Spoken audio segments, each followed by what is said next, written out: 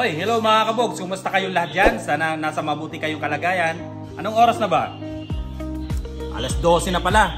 So magluluto na tayo ng tanghalian. Ang ating recipe for today, Sarsyadong Tilapia. Let's go!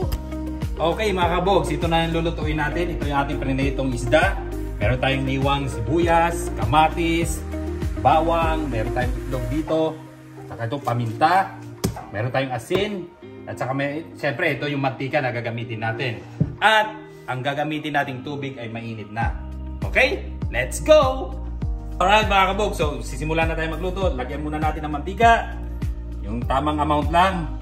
Naglagay na tayo ng mantika, mainit na to. So ilalagay na natin itong uh, bawang.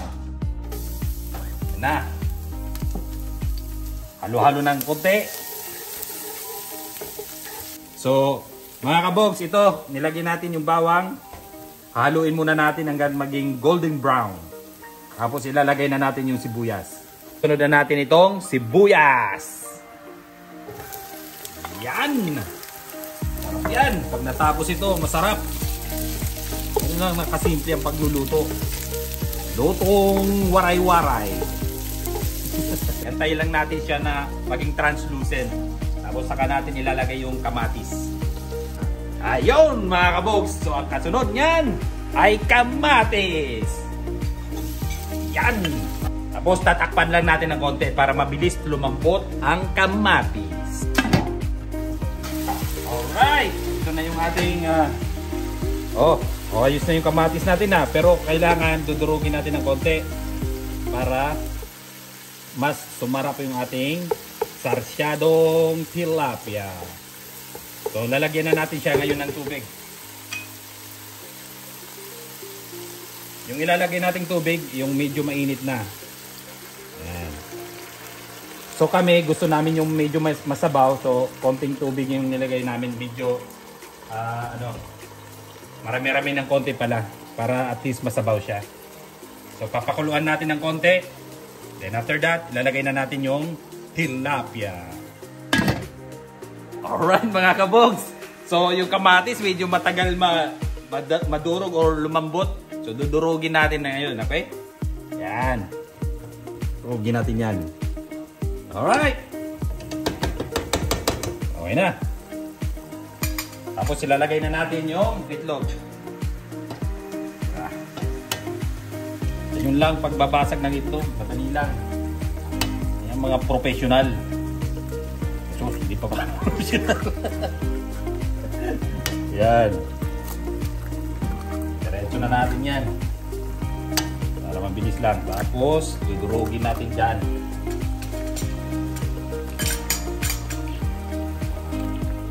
Yan.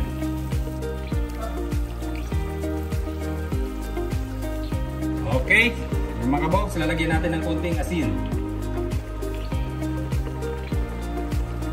Anong gusto nyo yung lasa, yun lang. So, kami gusto namin medyo konting asin lang. Hindi masyado. Tapos lagyan natin ang paminta.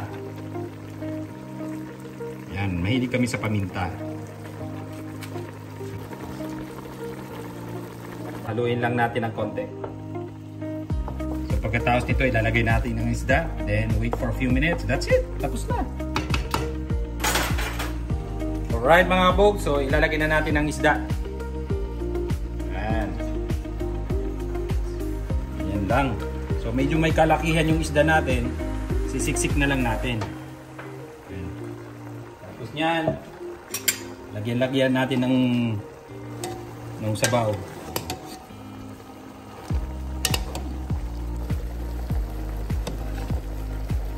And then tatakpan na natin siya.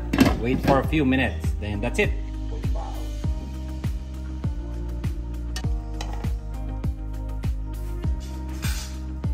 Alright mga kabogs, sa aking mga followers dyan, maraming salamat sa inyong patuloy na pagsubaybay at sa mga bagong viewers ko. Paki-like and subscribe our channel, Bogs Farm and Family Adventure. Marami tayong gagawin sa ating channel, okay? So, kain na tayo! Alright, kain na tayo! Tikman na natin ito ating niluto.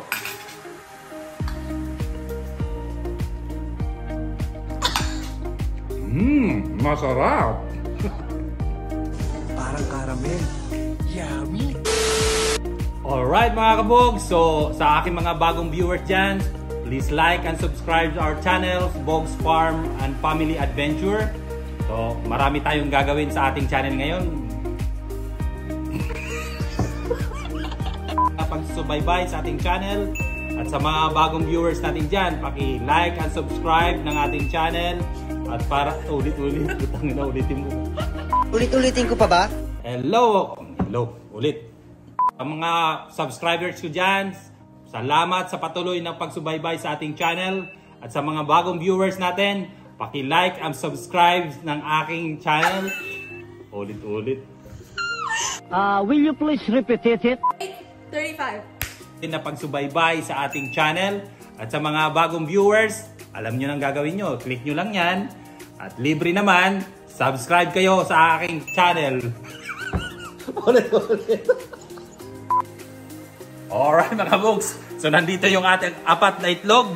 Ilalagay na natin dito sa ating niluluto. Ano ba niluluto? Pangit? Ulit, ulit, ulit. Okay, mga kabog, so dinudurog ko ngayon yung ano yung kamatis para mas sumisip yung sarap. Wow naman!